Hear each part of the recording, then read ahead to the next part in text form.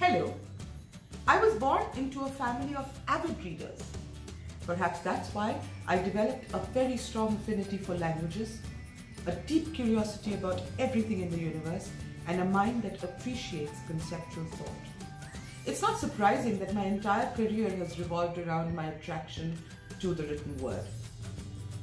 I earned my PhD in comparative literature from the University of Georgia in 1992. I love teaching and learning, but I've also been able to make a happy living out of my passion for reading and writing. I worked for some years as a copywriter at an iconic advertising agency, and I specialized in corporate communication. I ended my career in advertising as copy chief to return to academia. I taught corporate communication and business ethics for a management school for about 12 years. As a writer, I have accumulated a substantial amount of published online and online, offline content. My body of published work includes newspaper and magazine articles, poetry, book reviews, academic papers in international publications, short plays, children's fiction, as well as extensive web content for corporate clients around the world. As an editor, I have worked with academic texts, fiction, management books, children's stories, corporate documents, and web content.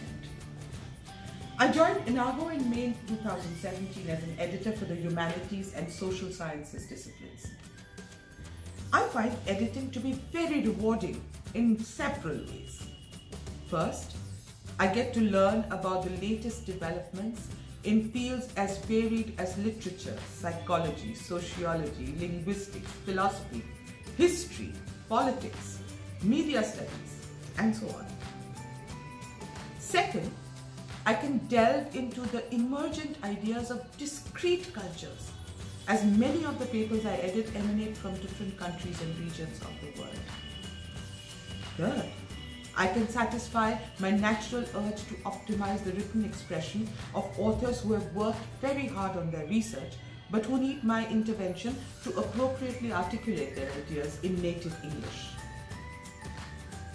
I work long hours, but I never really get tired because I feel as if I'm one of the lucky people who get paid to do things I love doing. Besides, working with Enago also gives me the flexibility I need to indulge another passion, traveling. I have traveled through more than 50 countries and now I carry countless cities in my heart. If I could, I would travel forever learning new cultures and languages, and reading and writing my way through worlds known and unknown. Thank you.